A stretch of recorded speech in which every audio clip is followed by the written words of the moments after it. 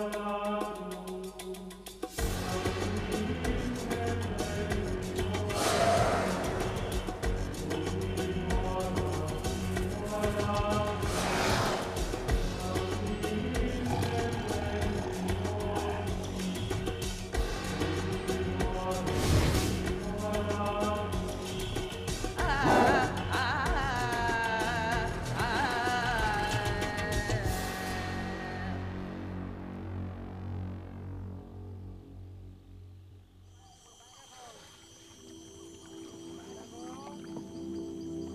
Fishermen travel deep into the Sundarbans region of India. Their work is done for now. They'll wait till morning to fish again. It seems quiet and calm. But these fishermen are in incredible danger.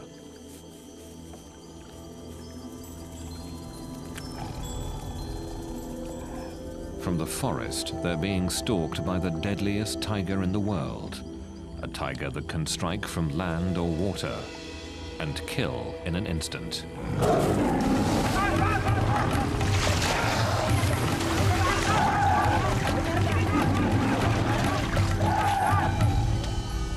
Another victim taken in the night.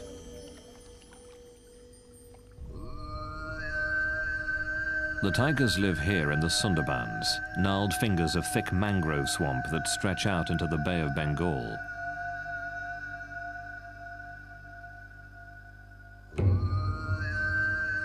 This dense, tangled forest, every year, people are killed and eaten by tigers. These tiny islands at the mouth of the Ganges River are separated by twisting ribbons of water.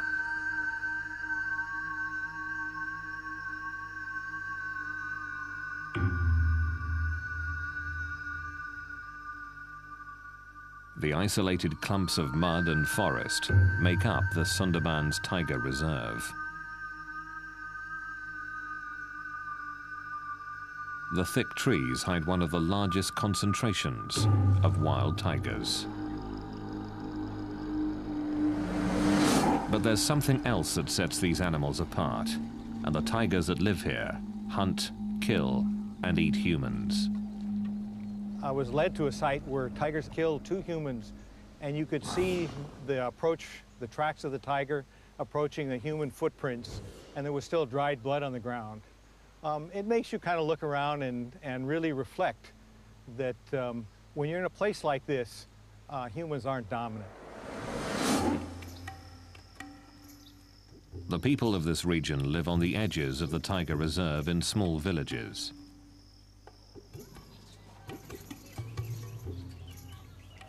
The menace that lurks in the forest surrounds them.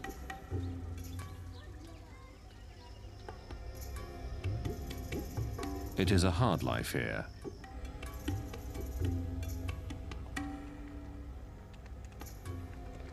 Most make their living by fishing or collecting honey. The best fishing and the richest stores of honey are found deep in tiger territory. Normally, this area is closed to visitors, but authorities do give villagers permission to enter to make a living.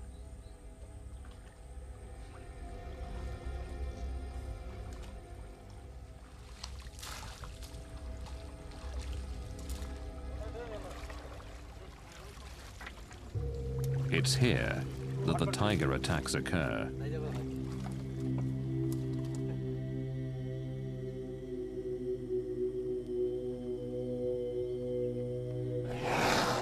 No one knows how many people have been killed by tigers.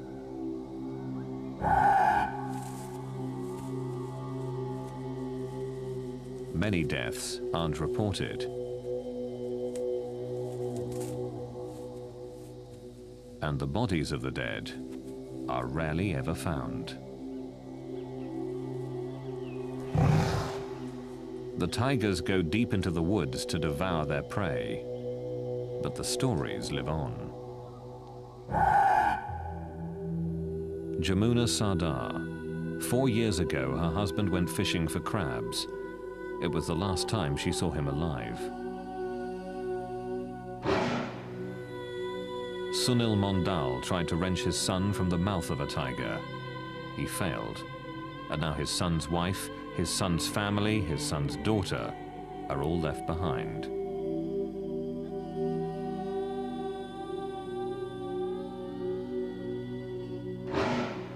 Surat Sadar. His father was killed while fishing, pulled from his boat by a tiger. The threat of violent death hasn't stopped daily life from continuing throughout the Sundarbans.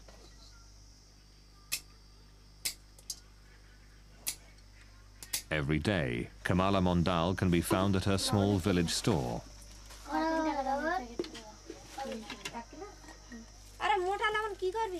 Mondal's husband was killed by a tiger while he was fishing for crabs. Without him, this store is her only way of making a living.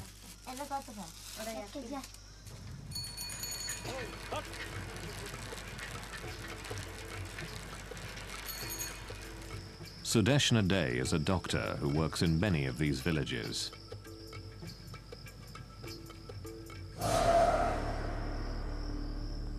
here every family has somebody or the other who has been lost in the hands of the tiger. And mostly what the tiger does is he attacks from the right side and from behind. So we mostly have neck injuries, hand injuries and right-sided scalp injuries.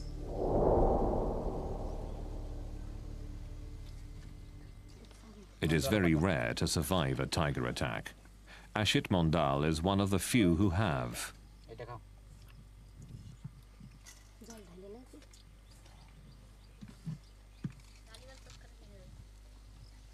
Just a few months ago, Mondal was deep in the Sundarbans, fishing for crabs, when suddenly he came face to face with a tiger. We're very poor here. We fish for our livelihood. One day, I was standing on the boat pulling in a net. When a tiger came running from the jungle. He saw that I was on the boat and came charging towards me. He jumped into the water, then swiped at me with his paw. The force of it pulled me off the boat. The tiger pulled me down into the water and tried to bite the back of my neck. But it was hard for him to find the right grip. He clawed at the top of my head, scraping off the soft skin and tissue. I hit the tiger as hard as I could, and he ran off. In a few savage moments, Mondal's life would be changed forever.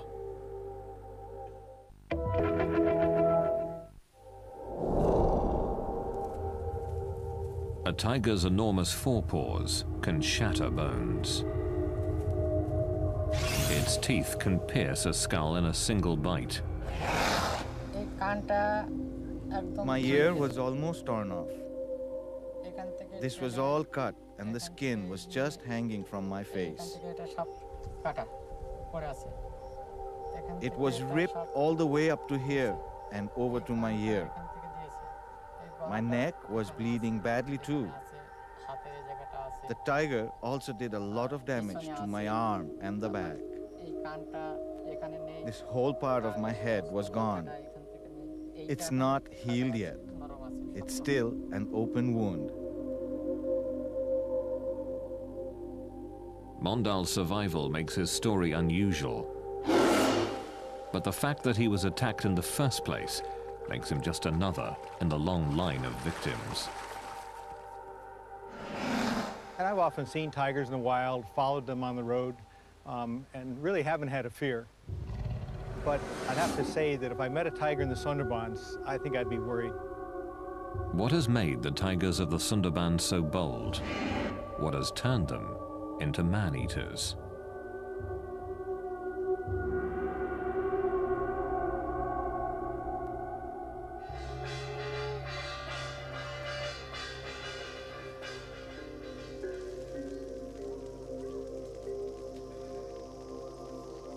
Tigers are a deeply entrenched part of the culture in the Sundarbans, a fearsome threat woven into the tapestry of everyday life.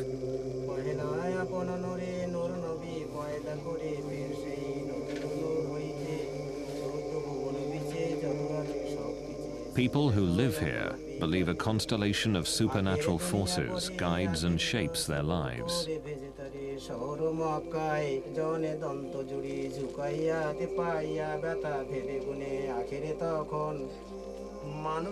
Before entering the forest where the tigers live, the priests and elders of the Sundarbans pray with the villagers, asking for protection.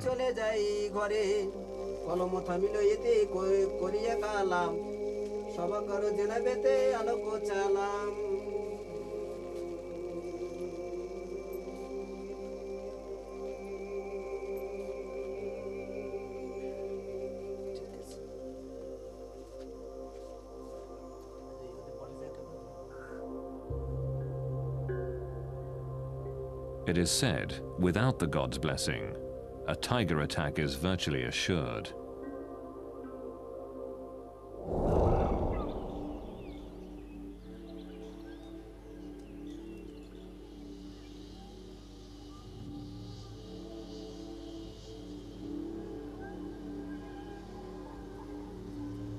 Bandhavgarh National Park is one of those places where wild tigers roam. Found in the heart of India, it is one of a handful of tiger reserves in the country.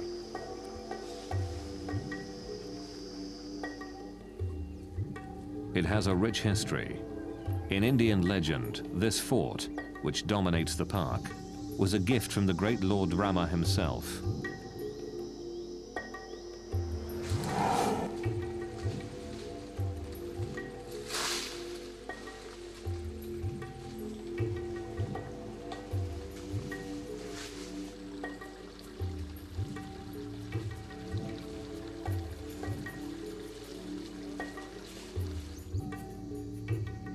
Bandhavgarh has become a favorite tourist destination.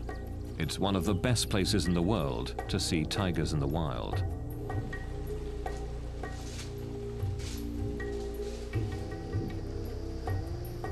These are Royal Bengal tigers, the same type of tiger that lives in the Sundarbans. And like the Sundarbans, this is certainly not a zoo. The tigers here track and hunt their own food.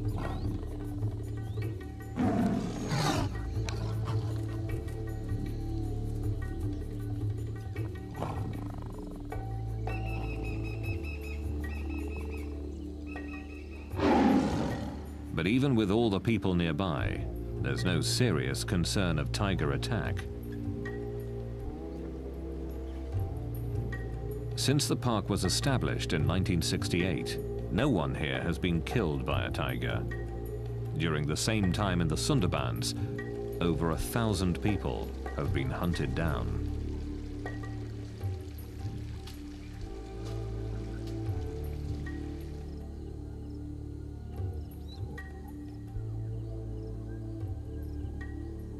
Classical image of the man-eating tiger is that man-eaters were an exception and they were old and they were injured, sick, and they couldn't um, kill game or, or livestock.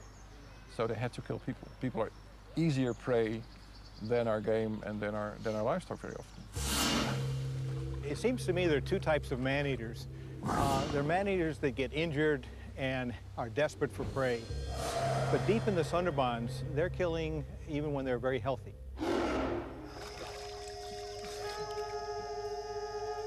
Living in the shadow of the man-eating tigers is part of daily life in the Sundarbans.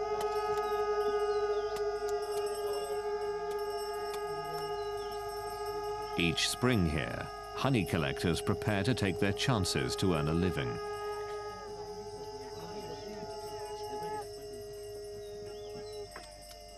The danger of entering the forest makes this a solemn occasion.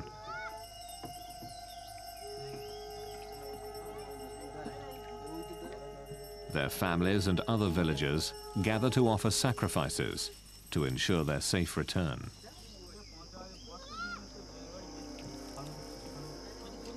But even with the permission of the park rangers and the blessing of the local priests, men from these villages enter the forest, never to return.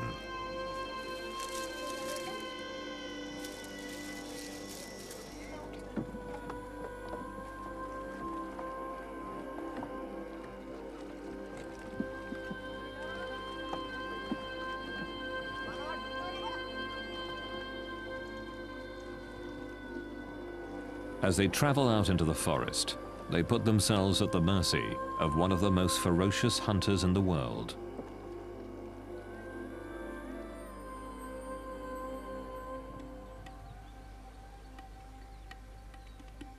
The murky waters, muddy banks and thick swamps of the Sundarbans make it almost impossible to see the tigers here.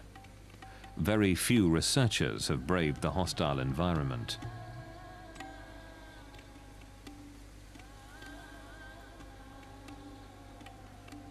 Very little is really known about the Sundarbans tigers. The Sundarbans at first seemed to me a, a pretty exotic place.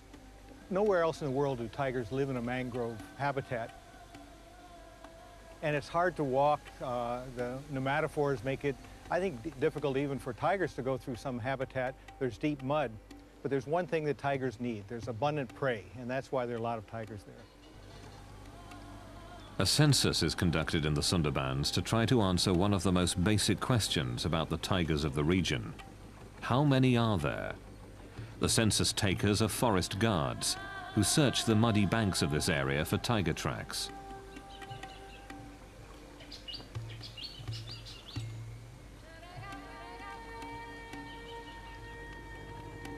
The nature of this region forces the tigers to swim from island to island, looking for prey. While all tigers are comfortable in the water, the tigers in the Sundarbans have become especially adept here.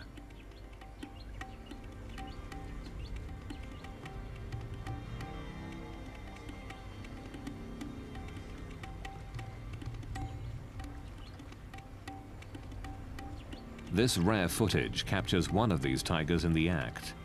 Seeing a tiger in deep water can be the last thing a fisherman here ever sees.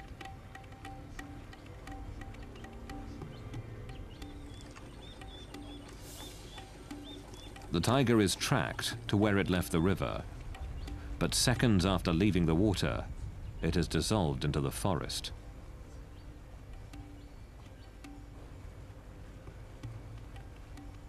The dense wall of green can easily hide a killer.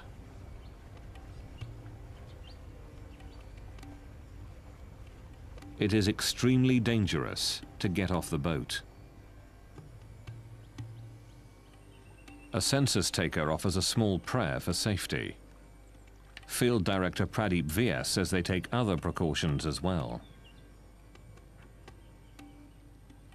apart from the firearms, the two or three devices which has been devised for Sundarban conditions, one is the Tiger Guard. This is protective uh, steel body structure and uh, this also use the bulletproof sheet which uh, has uh, spikes on the back because uh, any tiger which attacks prey or human being it attacks mainly from back and on the neck so this take care of the this particular problem Beside this, we also use the face mask because uh, most of the time it has been seen that the tiger attacks when you are most unaware of its presence. So number of times you can try to attempt the tiger fool that you are watching the tiger from the back.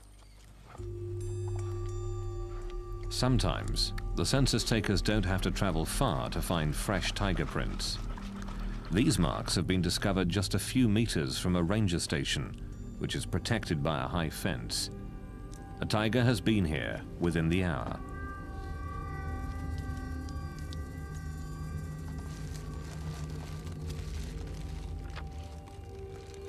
While some work quickly to gather the print, the others keep watch on the forest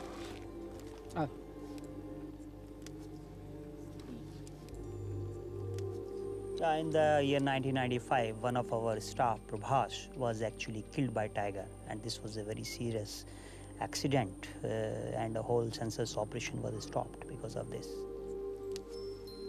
Each tiger's paw print is unique, as individual as human fingerprints.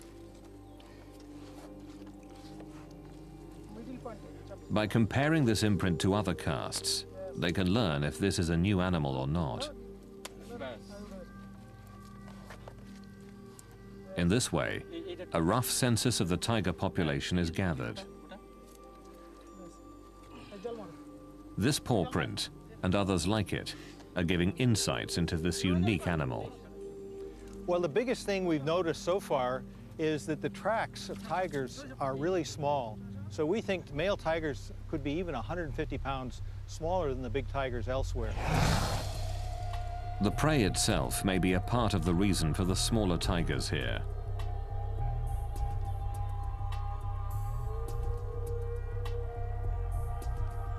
The largest animals tigers eat in the Sundarbans are about a quarter of the size of tiger prey available in the rest of India. But without more research, it's difficult to know if the difference in the size of prey has pushed these tigers to hunt down humans. The honey collectors are now deep within the forest, in tiger territory. With the blessing of the tiger god, the collectors search for beehives.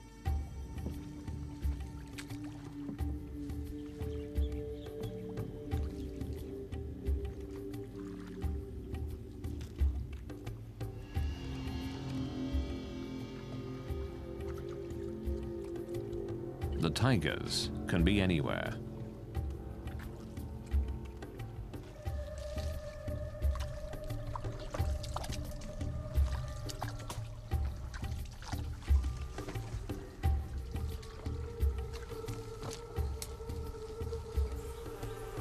But the reward is worth the risk.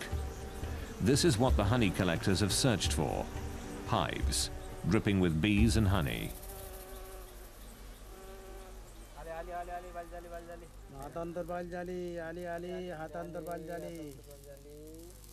The honey collectors light their bundles of grass to smoke out the bees. Their prayers and their masks are their only protection. There is a story that tigers never attack people from the front, but al always from behind. And therefore they have carried out an experiment in the Sundarbans and they've given the people masks to put on the back of their heads when they walking, were walking through, through tiger areas. And in the beginning, the tigers seemed to have to fall for, the, for this, this ruse. But then they cottoned on and they discovered that this was a ploy. And they again attacked people even though they were wearing a mask.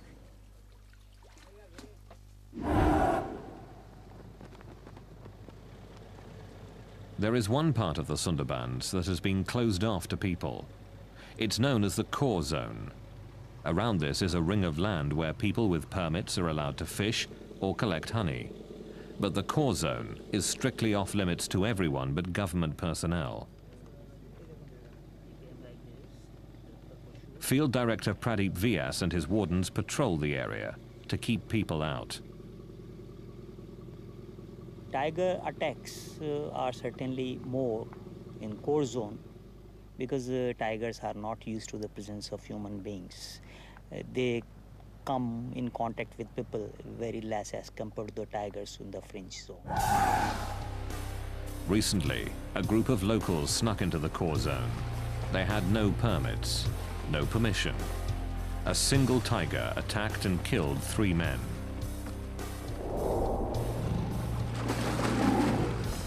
Vyas and the others were shocked by the attack. Normally a tiger will only kill one person, then devour their body. Vyas believes the attack shows how little we know about these ferocious animals. In my opinion, tiger understand human behavior very well, though we have yet to understand the behavior of tiger. With so little known about the tigers here, it's difficult to determine why the attacks occur.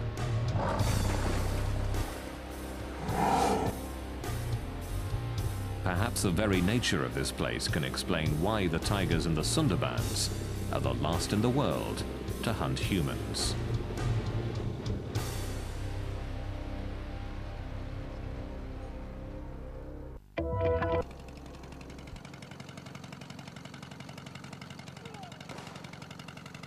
The Sundarbans is one of the most dangerous places in the world. Tigers regularly hunt and eat humans.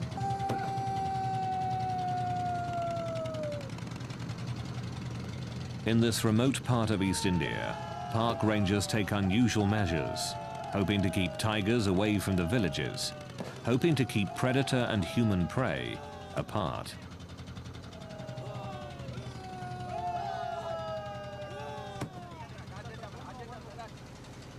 Whether this noisy attempt at animal control works is unknown.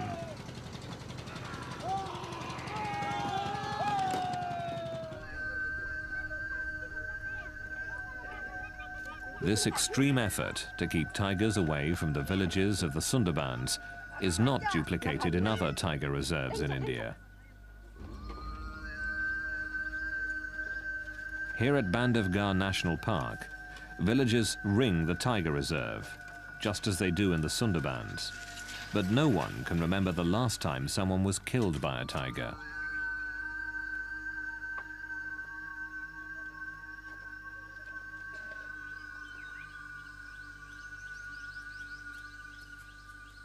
The tigers here don't always keep to the boundaries of the park.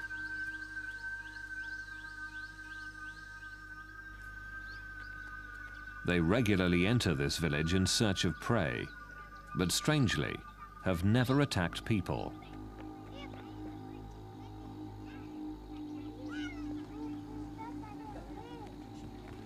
Raising cattle is the primary livelihood here, but the herders have no concern for their personal safety when it comes to tigers.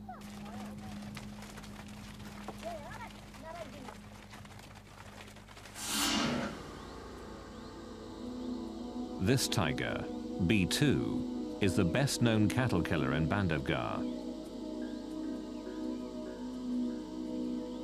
He leaves the park frequently in search of easy prey, but even though he often travels near the villages and comes very close to people, he has never attacked anyone.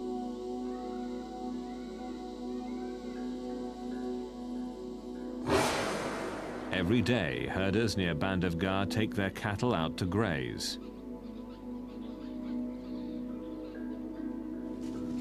They don't enter the park, but keep to the land just outside Bandhavgarh's boundaries. B2 and other tigers, of course, don't know where those boundaries are. When B2 sees cattle, what he sees is easy prey, no matter where it is. But when people are about, B2 is loath to attack. People make him wary. People keep him at bay.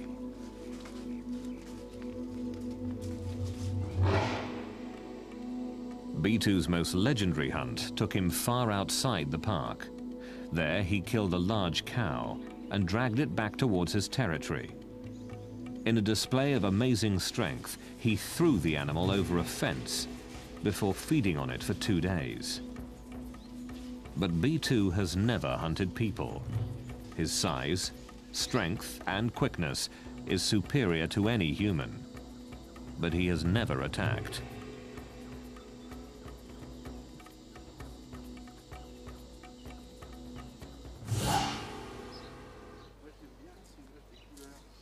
Claude Hadencourt went to India to see tigers firsthand. What he saw almost cost him his life.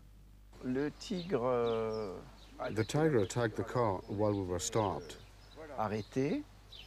We were listening to the barks of the deer that announced the presence of the tiger. Everyone was listening carefully, and when we turned around, we saw the tiger on the road, about 200 meters from us. Effectivement, on l'a vu, Et on a pu même faire quelques clichés, quelques photos. He got closer and we could take a few pictures. We could see the tiger was beaten up or in an accident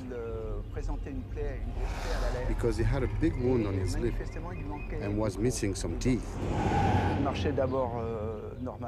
he was walking normally, euh, but when he saw all the cars, euh, he started to run faster and faster. And finally, when we least expected it, he jumped in our car.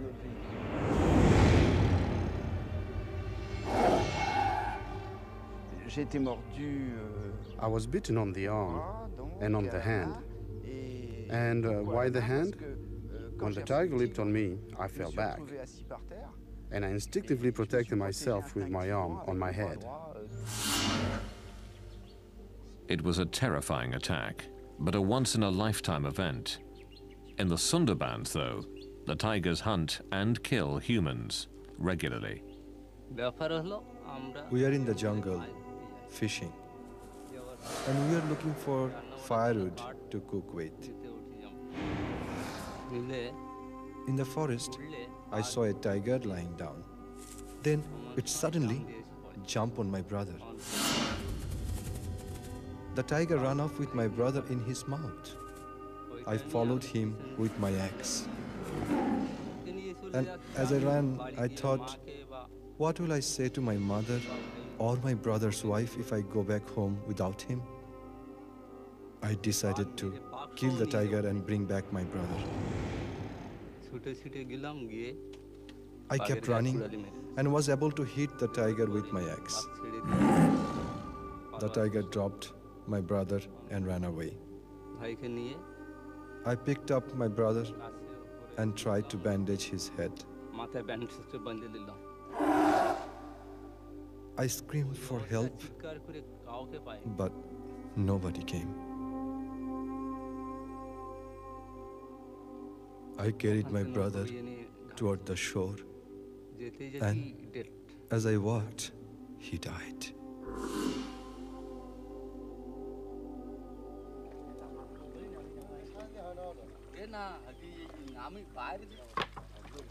Why do these attacks continue? It's difficult to know what separates the tigers of the Sundarbans from those everywhere else in the world. There are several theories, but little hard proof.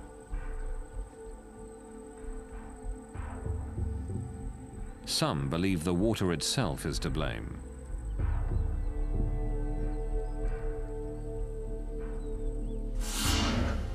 Because the Sundarbans rest on the Bay of Bengal, the salt content of the water is quite high. Typically, tigers live inland and drink from freshwater lakes or streams. Here, tigers drink the salt water. And some believe that a constant diet of salt water has injured the tigers, putting them in constant discomfort. This pain, it's thought, has made them more aggressive.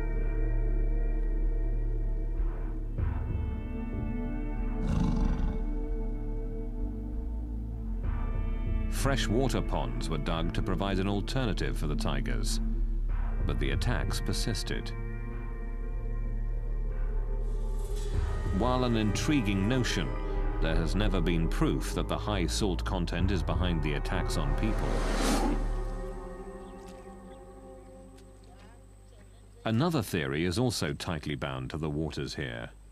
Understanding the tides is crucial to fishing in the Sundarbans.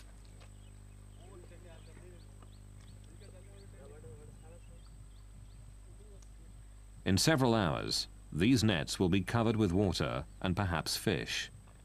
The regular movement of the tides shapes the behavior of the fishermen.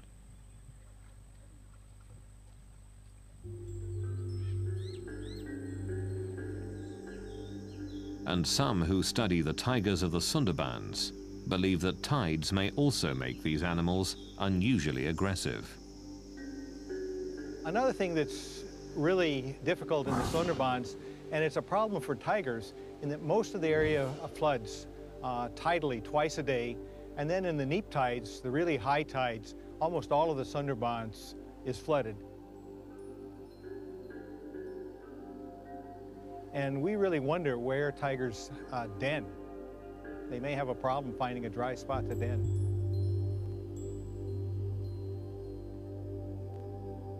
There is another theory that the tigers of the Sundarbans are more aggressive than others because conflicts that would be avoided through scent markings have to be played out. When the area floods, scent markings that define tiger territory are washed away. Aggression then becomes the only way to defend the territory.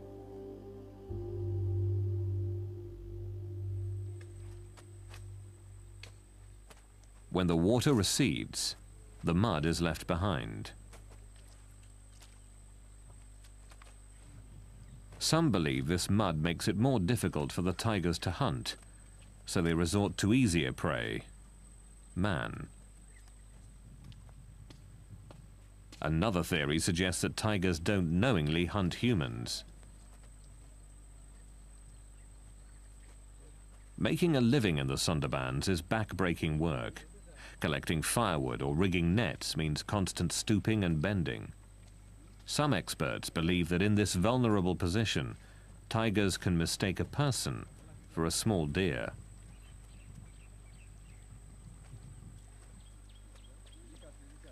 Once a tiger has mistakenly killed a human in this fashion, it is believed that the animal develops a taste for people and is more likely to kill again.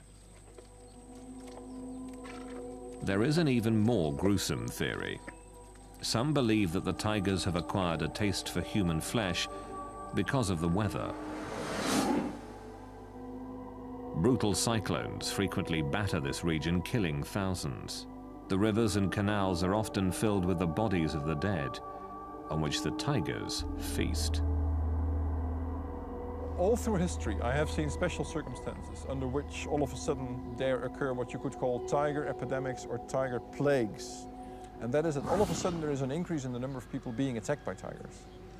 And I would say in 9 out of 10 cases that is because there has been a sudden increase in the number of dead bodies of people, dead people. Either because of, a, of an epidemic, cholera, smallpox, or because there has been a cyclone, a tornado, a flood, and that's because all of a sudden there is, there is a surplus of human bodies. And tigers thrive. They, they have more food than they can, almost than, than they can use. The list of theories grows, but is inconclusive. The tigers in the Sundarbans are certainly unique, and perhaps the explanation for their behavior can be found by looking not at tigers, but people.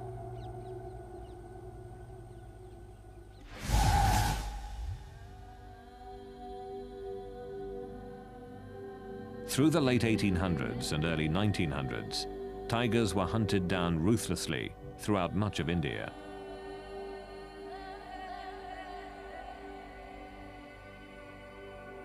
But what is less well known is that tigers were taking their own.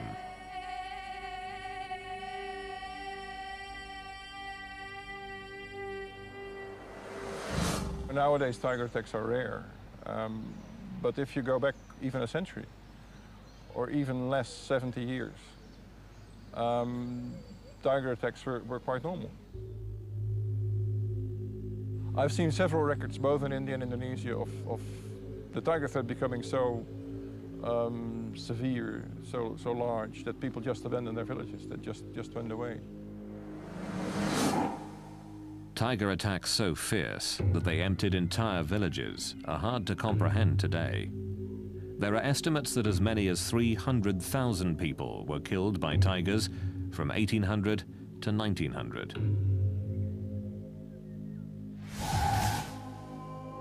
The answer was obvious. Fewer tigers would mean fewer tiger attacks. Open season was declared on tigers.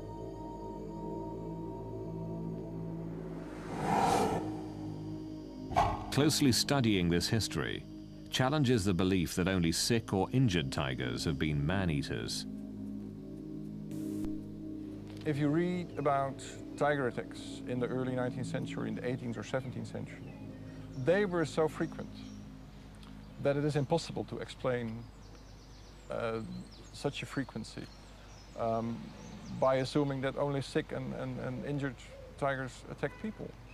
So I argue that before, let's say, 1850, if they had a chance, they, they would kill a, a, a person. Perfectly healthy tigers. Here in Bandhavgarh, healthy tigers don't hunt humans anymore. Boomgaard believes that tigers can learn from history. Man-eating tigers in almost every part of India were hunted down and killed. The tigers that live in Bandhavgarh learned that fearing humans meant survival. But the massive tiger slaughter that occurred in this part of India did not happen in the Sundarbans. I think tigers across India have faced hunting pressures for a long time, and so they're much more wary of humans than the tigers in the Sundarbans. I don't think the tigers in the Sundarbans are afraid of people. The people don't seem to be carrying firearms, and the tigers know that. The remote and hostile nature of the Sundarbans protected tigers from hunting in the past, and it continues to protect them today. Even when they know that a tiger's a man-eater, if it lives in the middle of the Sundarbans, there's not much they can do about it. They can't really hunt it, and they don't. The dense maze of mangrove swamps allows these tigers to continue to hunt humans, as tigers all across India once did. From mother to cub, tigers here have passed on a taste for humans from generation to generation.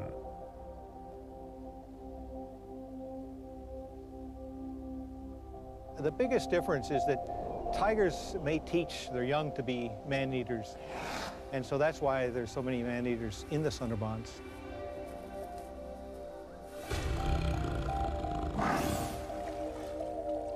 Not fearing humans, the tigers here keep hunting them, and the killing continues.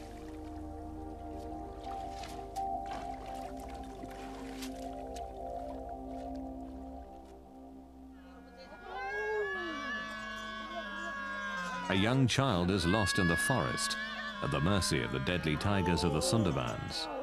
This play tells the story of daily life in this hostile land, of the very real danger that lurks in the wild, beyond the villages.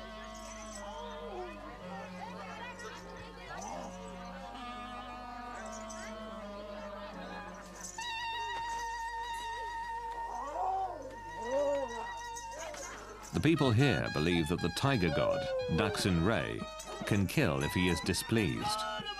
They believe he can read minds to gauge the amount of respect for him that their survival depends on his happiness, or the intervention of another deity, Banbibi, the goddess of the forest.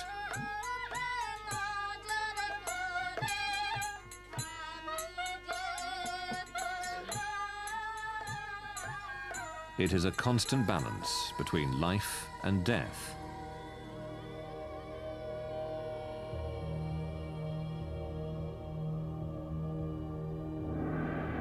Balance the people here accept.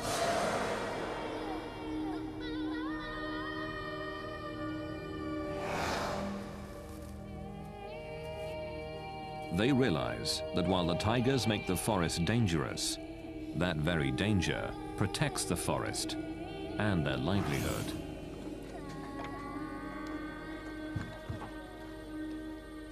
Most of the people in this zone are poor and for their survival they have to go for fishing and other things but uh, they also admit that tigers presence in this forest is essential for their own survival because because of these tigers these uh, mangrove forests are surviving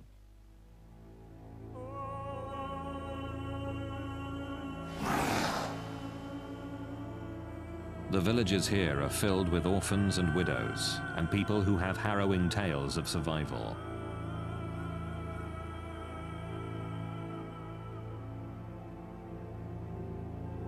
It is the reality of life in the Sundarbans.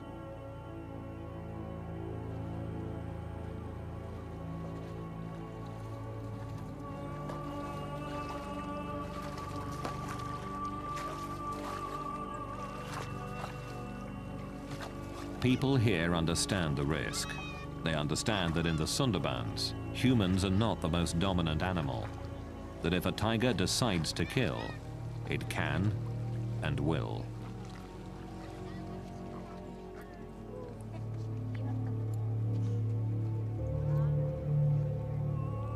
This is a place which has remained virtually untouched by time.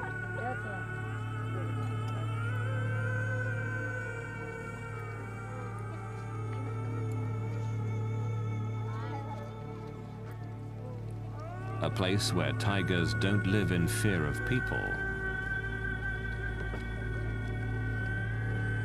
Here, tigers still reign supreme.